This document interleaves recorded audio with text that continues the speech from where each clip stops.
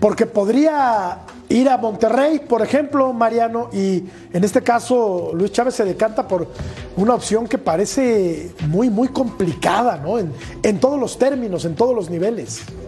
Sí, dos cosas. Primero yo quiero aplaudir lo de Grupo Pachuca porque después del fracaso del último mundial salieron a decir que iban a hacer todo lo posible porque se dieron cuenta que teniendo jugadores en Europa era la forma en que el equipo mexicano podría mejorar. Eh, solamente dos equipos lo han hecho, eh, eh, Santos uno o Grupo Orlegui junto con América y Atlas han enviado jugadores jóvenes a Europa. hay otros que pues no, no les dan chance y hoy Pachuca este, pierde dinero en el papel Este, y le da la posibilidad a, Luis Chávez de ir a Europa. Eso yo lo aplaudo. Después, eh, sí, coincido con el pulpo. Hay veces que el deseo te gana un poquito más, te llega a nublar, eh, pero finalmente es una decisión que, en, la cual eh, las prioridades son las que llevan la mano.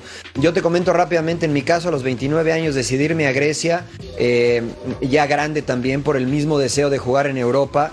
Eh, y la verdad que fue una de las peores experiencias en mi vida, en mi carrera como futbolista. Eh, después me costó mucho trabajo poder volver a jugar fútbol eh, por distintas situaciones. y hoy que volteó atrás no fue la mejor decisión. así es que bueno, ojalá y le vaya bien a Luis Chávez y que sea solamente Rusia la entrada a Europa para que después pueda migrar a otro fútbol.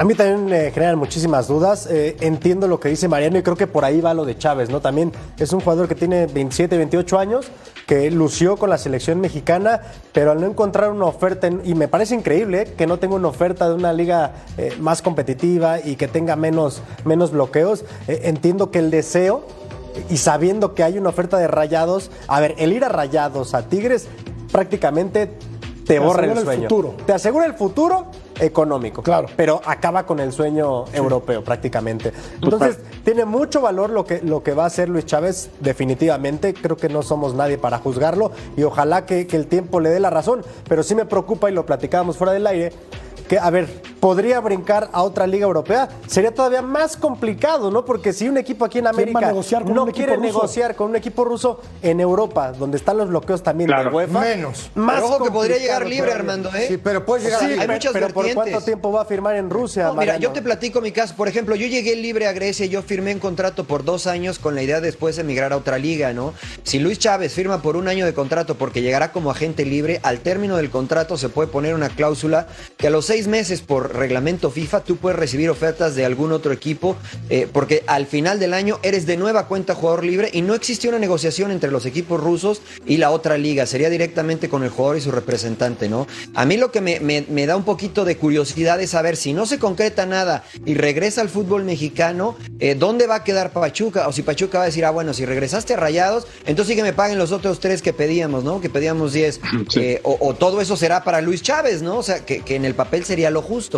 Claro, pero no estaría perdiendo, ¿no? Porque finalmente están pagando una cláusula y es alta, son 7 millones de dólares. Entonces, creo, yo no creo que Pachuca esté perdiendo, eh, como, lo estábamos eh, poniendo en la mesa, pero. Híjole, sí, sí me parece muy, muy complicada esta situación de Luis Chávez. Hay, un par de aristas. Primero, ¿no? Es un equipo que tiene a Diego Lazalt, el uruguayo, ¿no? Tiene a Fabián Balbuena, tiene a Nicolás Marichal, también uruguayo, y tiene a Roberto Fernández, paraguayo, este, Balbuena y Fernández. No, digo, no sé cómo hicieron esa negociación, no tengo ni idea, ¿no? Esa es la primera. Segundo, si aún si este país pudiera jugar la Champions, este equipo no jugaría, terminó en el lugar 9. Sí, correcto. Es que yo voy a lo deportivo. No, entonces, pero justamente a eso iba. Digo, un fútbol que se juega hasta octubre y vuelves a jugar hasta febrero por el tema del invierno. claro. Sí, ahí no se puede jugar en, noviembre, diciembre, enero, no se puede jugar al fútbol.